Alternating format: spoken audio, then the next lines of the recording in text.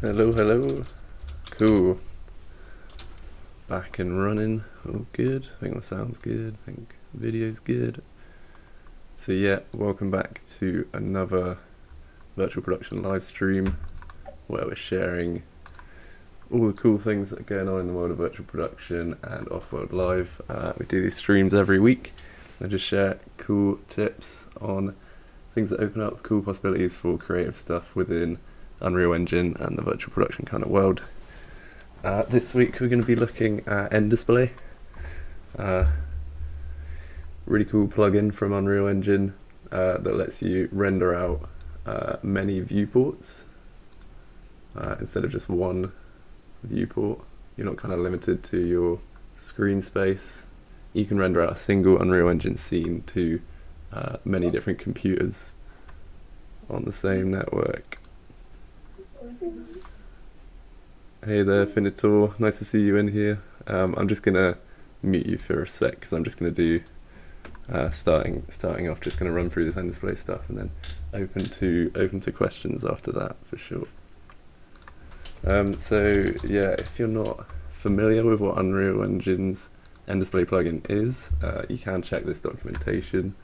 Um, but essentially, it's a way to render out multiple viewports. Um, so you can split split different faces into viewports. They use it for things like the big Mandalorian uh, LED screens. Um, look up things like LED caves. Uh, this is often kind of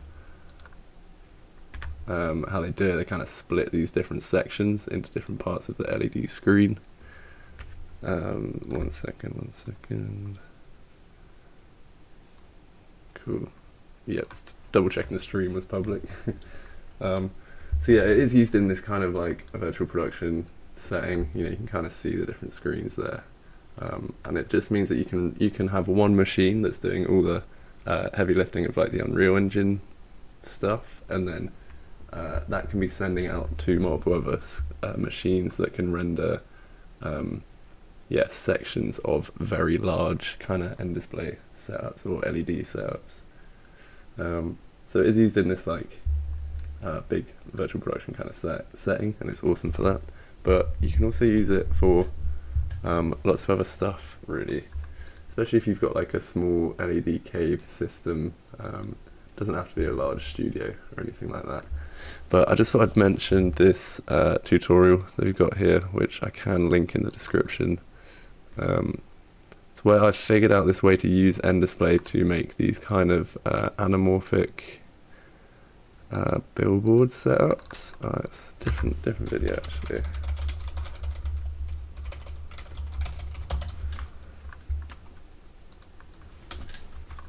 So anamorphic billboards being these kind of billboards where you get a sense of 3D because it's kind of uh, from a certain viewpoint. Um, so I will just mention this tutorial because it's quite it's quite cool because it is a bit of a start to finish of how to make a kind of anamorphic billboard. But because it's in Unreal Engine, it means that you can um, do like a live playable anamorphic billboard. So you could just be playing a kind of game uh, and then send out the kind of mapping uh, using display to send all this stuff out in real time. Um, yeah, I hope that makes sense. uh, you get this kind of corner and then you get a real sense of depth even in a non kind of 3D screen. So yeah, check that check that one out if you want to get, get a kind of basis in NDisplay. But here I am just going to do a bit of a start to finish on rendering from NDisplay because you can actually take these different screens. Um, you've got in this kind of of stuff. Okay, so these kind of screens, each of these different screens, you can render these out individually, and that makes um, for some quite cool flexibility. You can uh, uh, stitch these together and get bigger renders, kind of like a tiling system, or you can um, uh, use it to do kind of projection mapping or LED cave kind of mapping. So I'm just going to start from top with this.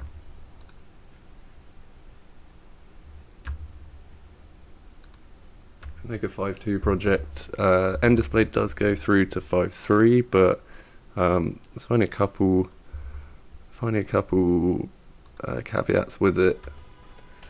Hey, nice to see you, Wit Sellers. Thanks for dropping in. Yeah, we're doing nDisplay this week. Um, yeah, 5.3 is a little bit buggy for it, so I think to be safe, 5.2 seems to not have too many problems. Um, we go film, video and live events, and make an NDisplay project here. Just going to save it somewhere useful.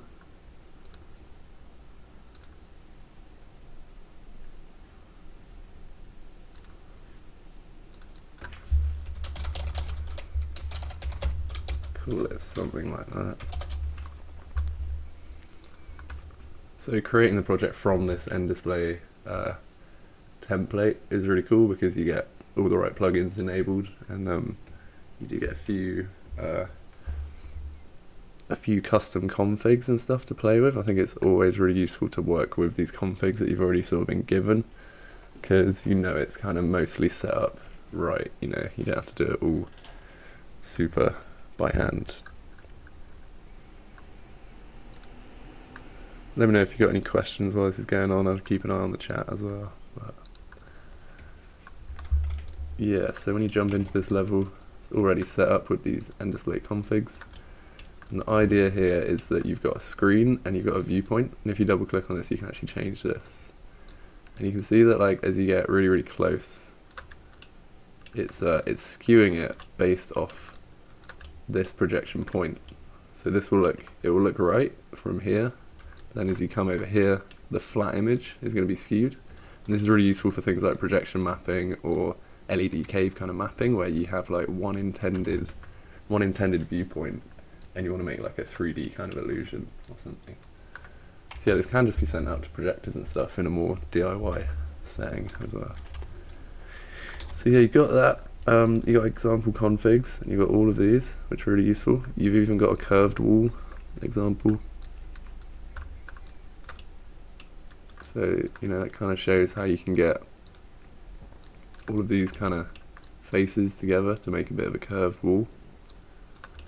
You can do a more perfectly curved wall, which I've done a tutorial on in the past as well. Um, it's a bit tricky to unwrap, but yeah can do it. Um, so you've also got things like cave. So it's quite a traditional kind of cave that you would see. It's got a little bit of ceiling, a little bit of floor, a little bit of left and right.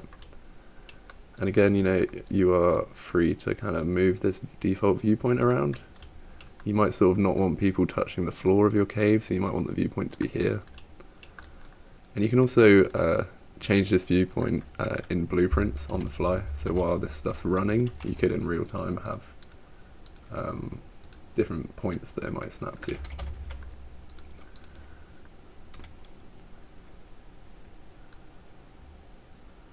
So yeah, yeah. Let's let's use like let's use this cave. Um, yeah, let's use this cave in a setting. Mm, so, yeah, at the moment this is all writing to separate viewports, which you can tell by these different coloured boxes. And each of these viewports is a different um, host, so it's a different computer. And you can see here it's got IP addresses. So what you can do is you can like uh, use what's called switchboard to like trigger this whole thing, run the one scene in Unreal Engine, like run run one off of one computer, run editor, and then you can launch these viewports which will be each of these faces on a computer each. So these are each different computer different IP address different computer. So that means like uh, you would get super nice fast rendering off of the one computer that's doing the heavy lifting of the Unreal Engine scene. And then just purely from a visuals point of view each of these computers can be rendering a whole you know um, don't know what resolution that is, but it's bigger than bigger than 1920 by 1080. You know, a bit of an arbitrary resolution there. But. So hopefully you can see how that how it, how it kind of networks different computers together and frees you up, sort of rendering wise. but you can also use this for offline renders to get a lot of resolution out of a render. So let's do that now. I'm gonna I'm gonna actually make a new config from scratch.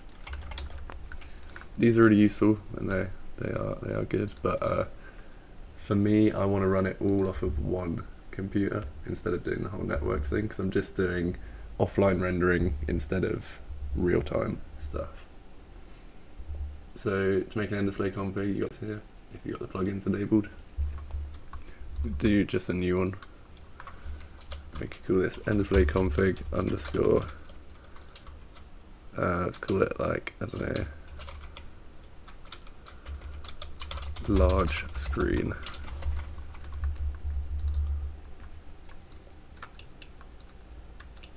And it automatically gives you a screen, default viewpoint, and a root but it doesn't give you anything down here. So I'll show you how to make all this stuff. So what we're doing, we're basically telling this screen to sort of write to a viewport. So you can do add new cluster node. Hey, nice to see you guys in here. Feel free to ask any questions throughout, but we're just running through nDisplay and how to uh, use, you can use the fact that this can render really high res images to actually make almost kind of tiled, tiled images of whatever resolution you want. You know, you can render really high res stuff with this. It's just like a kind of funny use of nDisplay to get really high res stuff out. Uh, and then also in terms of rendering your viewports, if you're doing this in a more traditional LED screen kind of sense, you might want to pre-render your footage. You might not want to be dealing with real time. You might just want a pre-rendered, um, pre-rendered scene. Hey Hamdan, nice to see you. Yeah, so yeah, adding a new cluster node. This is like the computer, and that's why it's got an IP address. Um, you can uh, put in your actual IP address here instead of this one, but it can also launch on this uh, kind of whatever this whatever this address is. It can launch here. So full screen we won't enable because we're just going to make our windows to be full screen anyway.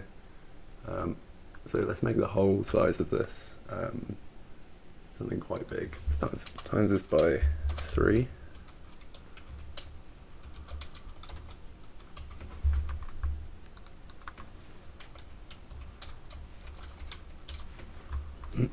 So ridiculous resolution there. What's that? About 6k.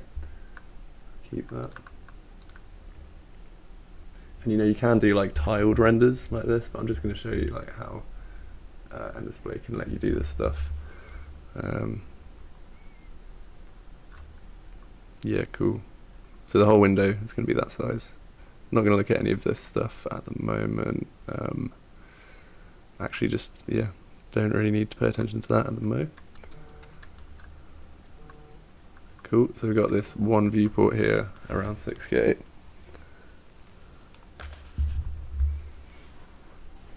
I'd like to start out doing VP in your studio in Birmingham. Nice. Shout out UK.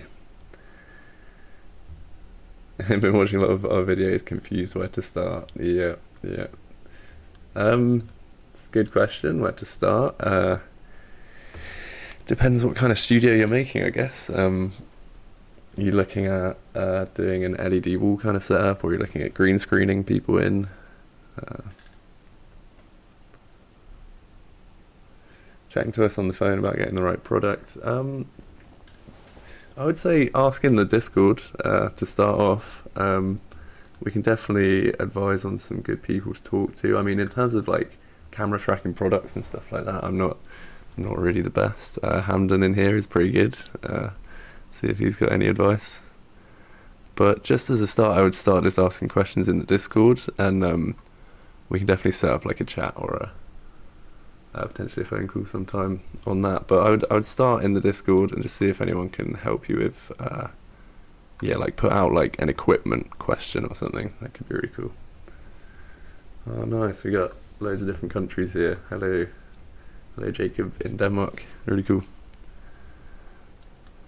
So yeah, um, in terms of this nDisplay stuff, what's cool about this? I've got a uh, ridiculously big screen I could actually go, I was testing this earlier on, and I can go to um, whatever resolution. I was doing something ridiculous like um, 10, 10k square, and you know if I was to do that as a tiled render um, through Movie Render Queue, it would just crash.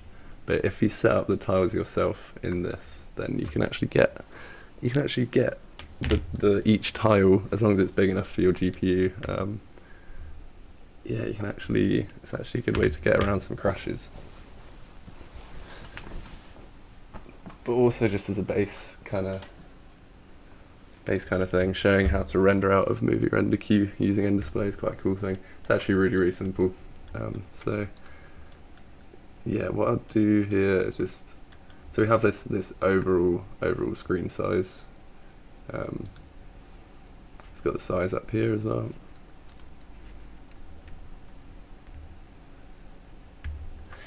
Yeah, downloading the VP Studio project. Yep, definitely also worth jumping in and downloading that. Um, I will say it's like, uh, especially if you're just starting out, it can be um, I would say just jump straight to the I think it's called like podcast uh, template level or one of the other kind of finished levels. You should be able to just change the spout input or change the media input and see something in action. But um, again, can be quite confusing if you're just starting out. But hopefully, as you get to learn more things that are going on or how things work, you might um, get find some really useful stuff in there. It's like it's aiming to have some kind of finished levels for you that uh, you can just hook your media into. But yeah, please do jump in the Discord as well. Awesome, thanks for the kind words. So yeah, so we've got these three layers kind of thing now, and um, so you've got the hosts. That's if you were to launch many computers, you would have many hosts, as I mentioned earlier. You've got the node, which is kind of a container for your um, viewports. It's also the same resolution. Uh, this is kind of, the node is kind of like what you launch if you were to launch uh, a screen as like a little standalone game. Um, and then within the node, you've got a viewport, and this is the kind of the, the size that you can set, kind of arbitrary size that you can set. So I'm pretty confident that I can do one render of like, you know, 2000 by 3000 pixels. So we could do just half of this resolution, we split it into two screens. Um, but we'll have to do this uh, uh, over, over here as well. We're going to have to make two screens for it. So I can just copy and paste one of these. Uh, and let's make them uh, sort of 50-50 kind of resolution. So 50 by 100 What's that? Is that 2-1 or is that something else?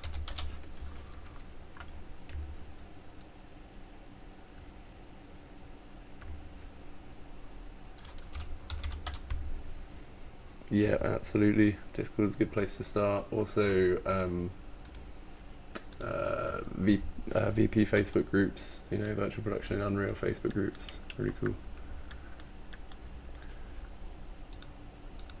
So what I'm doing here is pretty arbitrary. If you want like uh, real pixel for pixel um, stuff, you need to get the measurements of your LED screen and just get you know the exact sizes of your LED screen. Um,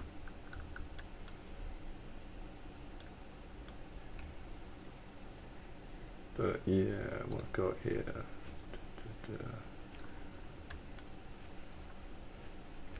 Let's look at like what the actual size is for what eight? Should we try an 8K?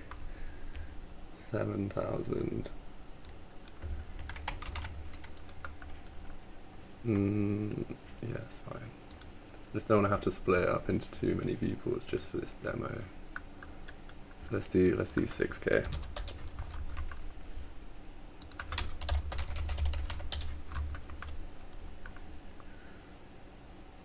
Oh, so it's 6,000 by 3,000. Cool. So I'm just going to change the host resolution here. Um, allow manual sizing.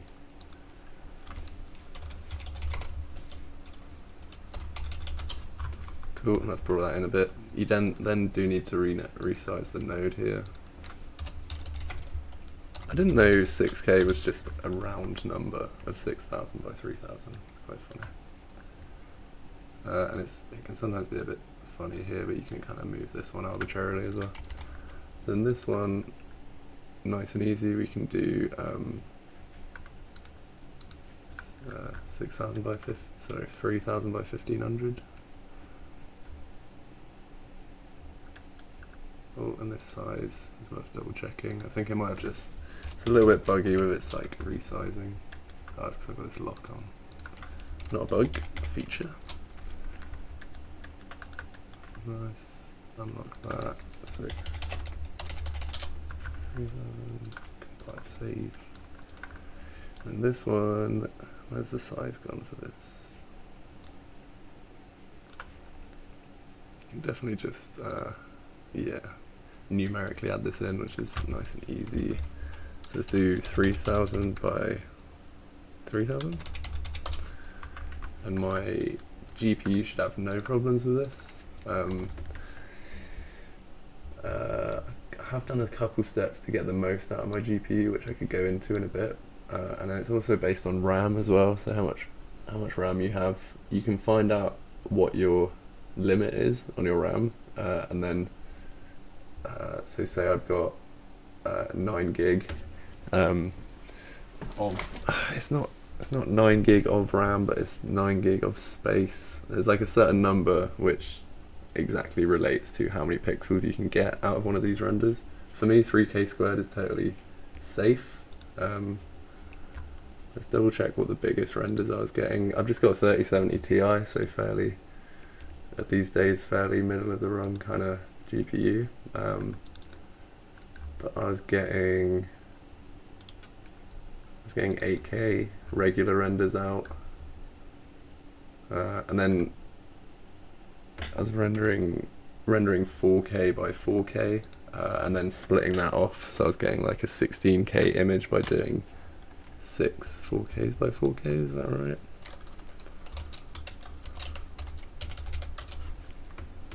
So 24,000 pixels image. So what is that? Unheard of resolution. but yeah, um, you can look into like what the max you can do with your GPU is, or you can just do it, play it by ear. Just try a 3K and see if it works. So yes, we got that. These need to be square now. Just changing what my changing what my format is on the fly, which NDisplay is really nice for. You're not too tied into one shape or size, which is nice. And the VP, the viewport, I can just copy and paste that as well. Again, slight bugginess makes me not want to do this all the time, but let's see if it works.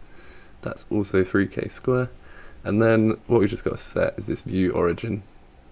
Uh, hold on, projection, simple. This can be based on a custom mesh. Don't really know what some of these do, but I'll keep it simple and then you can just select your screen. You can see the screens kind of turn on. There you go. So now you're like saying this one is doing this one, this one is doing this one. And that's all sweet.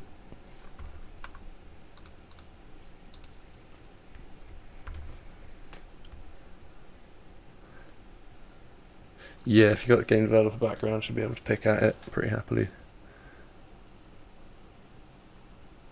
It'll be watermarked if you don't have a um, license for Offworld. You can get a non-commercial license if you're testing or if you're not planning on making money off of what you're making. Um, but the watermark's not too, um, you know, it's not too in the way anyway. Initially with virtual cameras and retrack a bit less further down the line. Yeah it's a good way to go. Yeah the the project at the moment is like currently based around composure which is unreal's way to get nicer cleaner media um, in but it is a really over the top way just an over the top over the top workflow that can be a bit over complicated um, but at the moment it's kind of what you have to use if you want to get really nice uh, talent into unreal engine so it should help you get going with composure. We've also got loads of tutorials on composure. So yeah, the yeah the nDisplay setup is really really nice, and it, it's nice for visual people like me, where um, you, you know you don't have to do loads of typing in, and you can literally just kind of play with it and sort of see what different setups will look like. You know, with the kind of grid snapping on as well, it's like really nice and quick. You know, you can start to like build build a cave or something. You know, and then you know I'll just uh, create another node, decide where I want to put it. Maybe I'd want to downsize all of these or I'd want to make a whole new machine to render to render this on.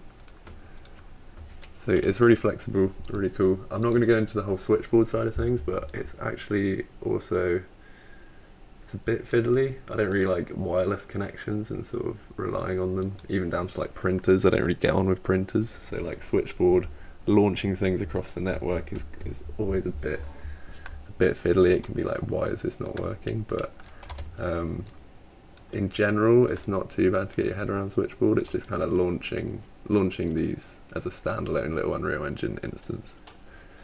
But yeah, we're just going to do offline rendering for now. So I'm just going to show you how I should be able to get both of these out without much problem, without much issue.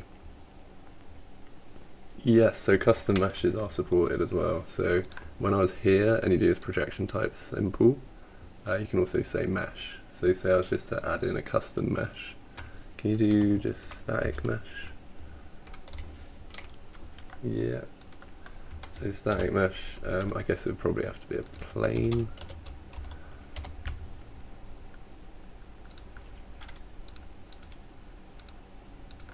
So plane here make it like a random size. Would it do that? Maybe. Uh, and then let's use this one.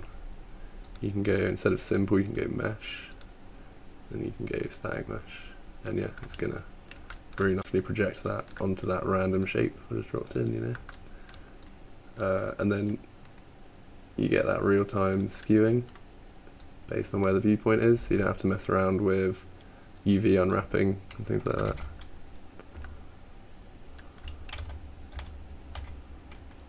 On the pricing, thanks for that. Yeah, we're we're always we've got um, a lot of people looking at pricing and how um, how to do it fairly, how to do it competitively and fairly, and um, it's definitely just aiming to be a bit more um, democratized with it, you know. So yeah, that's how you do that's how you do custom mesh. But um, uh, let's go back and make this sim simple screen one. And yeah, it just pops into view, no seams, really nice. So then we can like drop this in at level. Get rid of this one.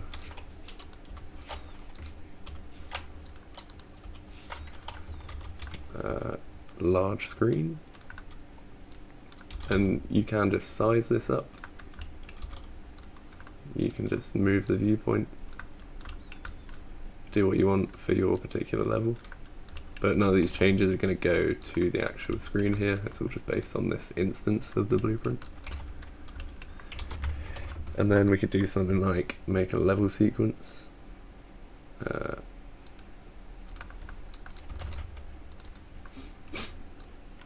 And you can literally just use this as a way to get to the movie render queue settings. Um, you don't have to track this or anything, but you can track it for things like movement. So you can just make this like fully fly around. So if you've got like a cave kind of scenario, you could do something cool like uh, lifting, lifting off the ground or something, you know. Um, it won't show up in this because it's sort of uh, in game view, not visible. So if you press G, you've got game view. So you can, what I quite like to do is make a camera. So you, I, you might get some some job where it's like they want a whole video, uh, but it's mapped to multiple projectors or screens in in a venue. Um, so what you can do is like just make a camera, uh, like a cine camera. Drop that in. Um, and let's uh, let's delete the rotation stuff for this. Make it a bit smaller, like that. Makes a bit more sense. And then like pilot, pilot this camera. put it like in line with your default viewpoint. So you know that it's going to be viewed from the same place. I'll take the focal length up a bit because you kind of got the whole view of the screen, makes a bit more sense. So this camera can just be serve as your guide of like where you're looking around in your scene, but when it actually is written to your LED screens or your projection mapping policy, um, you're going to have this big field of view anyway, because it could be a whole cave or something. So you can track this camera, uh, and then you can just jump out of that and you can make this um, a child. So you can see the viewpoint and the camera pretty well lined up. You can get more exact with that if you wanted. You know that this is seeing what this is seeing. Uh, and then and then in our outliner you could just uh, parent parent this to your camera. And then you know any moves that your camera is doing you're going to get the nDisplay config as well. And this can be um, however many faces. This could be a whole set of cube faces. Could be a ceiling and a floor as well. And you just get you know your nice kind of regular transform tracking so you know I could then like move up like this track that fly like down here. Um, add things like roll if you want.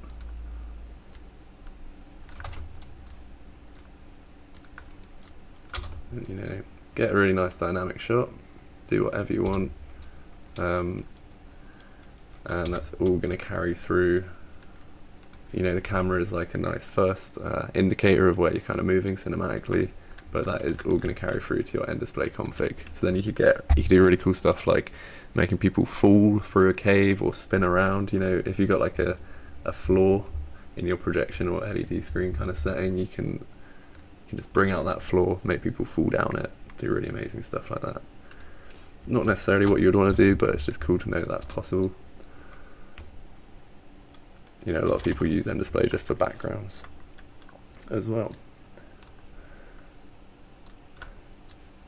So yeah, as I say, you don't actually need to track the nDisplay config in here to do your kind of uh, render out of the faces. But yeah, this is the really key bit, but it's really, really simple. Uh, as you go into movie render queue, um, you can make you can make and save a config if you want, but in your kind of config settings, if you've got nDisplay enabled, you can actually just click it here and then uh, find your nDisplay config. You can say use viewport resolution, so this is how you get uh, this is how you get uh, really big resolutions, you know. And then you can do this render all viewports. So this you can turn off and you can say just render viewport 0 or viewport 1 this time and then next time uh, say like first time just render viewport 0 render that one out second time just render viewport 1 and then you can go much bigger than your GPU would normally allow by breaking it up into these kind of tiles. Uh, I think I'm going to be able to do both in this because it's only what was it just under 6k or something I know it was 6k resolution. I think I can handle that, so um, as long as I've got that selected. You do also need to go here and go nDisplay rendering. You can see you've also got nDisplay path tracer, so that's quite cool. You can do path trace renders. Uh, and then you got like other nDisplay passes if you want to. I can do regular nDisplay rendering. Don't need to touch any of this either, but obviously you can if you want to. I think this warp blend it's not the viewpoint thing, it's something different, but I'm going to leave it on. You can do JPEGs. I haven't tested EXRs yet. It could be worth testing. Uh, and then you can also just make this resolution really small because uh, we don't even want this final output. Um, I'm not even gonna, it's gonna render out the normal image from the Cinecam's point of view and then also the nDisplay viewport image. Um, so we don't, yeah, I don't need a massive, uh, massive image here, so this can actually save some resources. You can set your directory.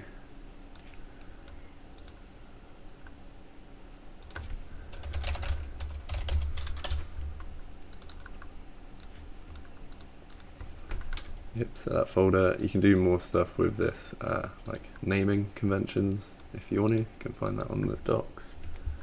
Uh, and then with use viewport resolutions, render all viewports, uh, and the screen selected, uh, we should be able to get to go. Uh, let's open this up so I can find it. Can go render local. See how this goes with me streaming and stuff at the same time. if I drop off, you know, you know why. but I think, I think it should be able to do it.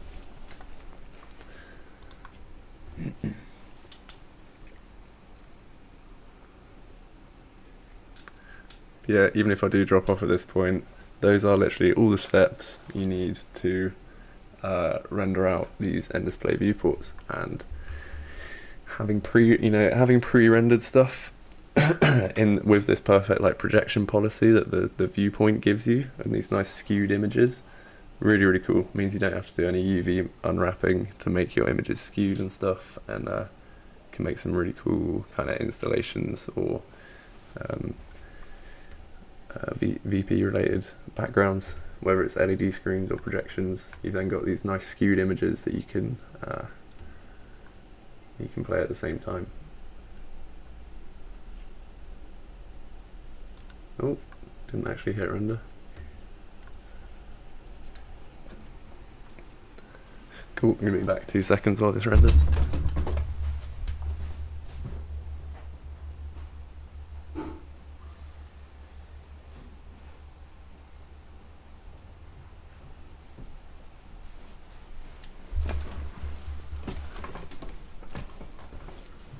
So I said to do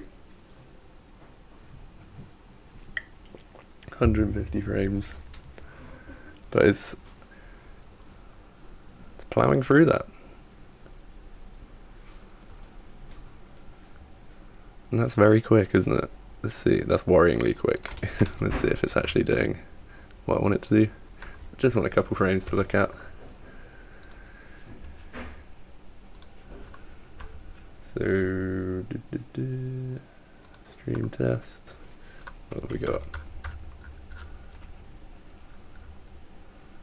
So cool that I'm seeing these these square images, both sides of the same image. That's a really good sign. They're 3K each. And we've got the overall image, which is the low res, uh, just front camera image. It's just it just renders one of those anyway. So I just thought, you know, keep it low res. We're not gonna, really going to want it. But yeah, now what you can do is stitch those back together. You know, there's no super automated way to do this at the moment, sadly. Um, but yeah, we've essentially got this like heinously big image. It's just rendered it out pretty quickly. Not much worry of whether I'm going to crash. You know, I'm streaming at the same time as doing this, just on a 3070 Ti, and it's just because it's rendering out just 3K images at a time. You know.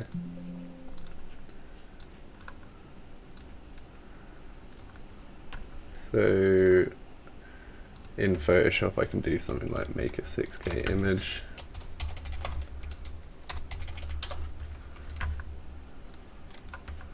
Uh, just drag my left and my right onto that.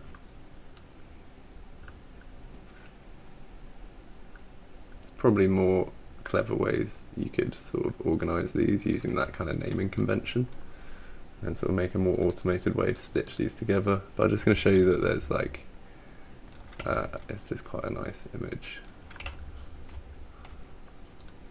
Oh. Okay, this is why this previs is useful. Because that is not lined up.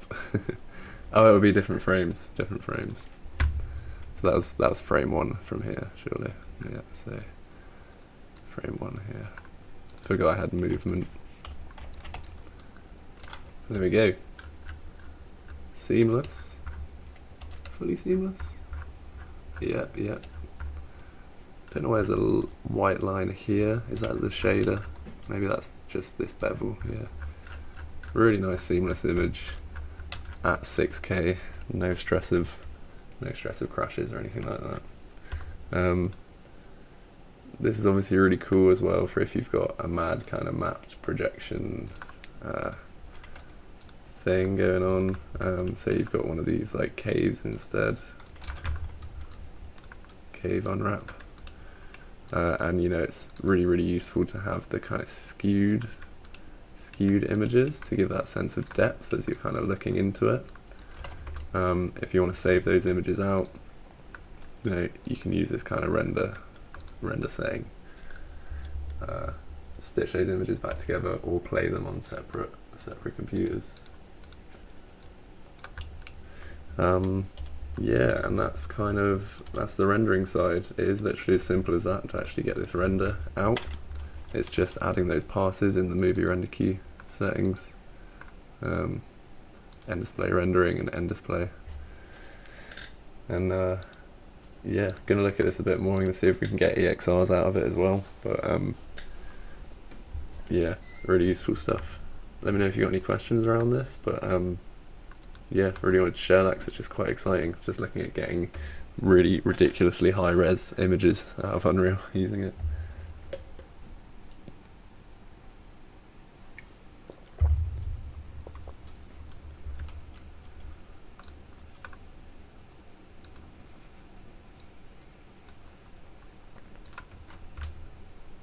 Yeah, great to see so many of you in here this week as well. It's really cool. Um, I know it's um, not masses, but it's really nice to just share this stuff with people. And you know, VP Crew is a tight knit community anyway, so it's really yeah, great to see. Great to see people interested. Um, do jump in the Discord and let us know if there's other things you want to look at. Um, any ideas, any things you're wanting to know more about. Um, and yeah, either way, we're just going to be sharing tips, sharing tips every week, and just hanging out. You can also join in the Discord and uh, jump in on the voice channel if you want to chat about something in this period. We tend to do it every Thursday from three three o'clock UK time, and um, yeah, I hope that's useful.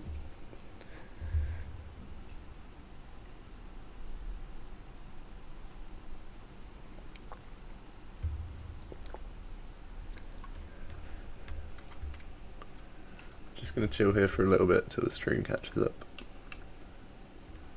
Walkthrough of driving LEDs with DMX. No, no, I haven't really stepped into the DMX side. Um, could be cool to look into, uh, but it is a whole world of research that I haven't really started on, to be honest. Um, I guess DMX is just a protocol for driving changes in your scene. Um, so I have done some MIDI stuff last week, which is obviously just another way that uh, machines can kind of, or you can get, you can get an input from real life uh, dials and sliders, and then use that to drive stuff in Unreal Engine.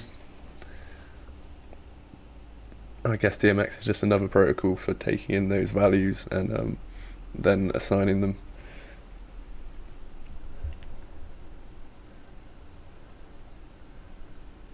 But yeah, could be a cool one.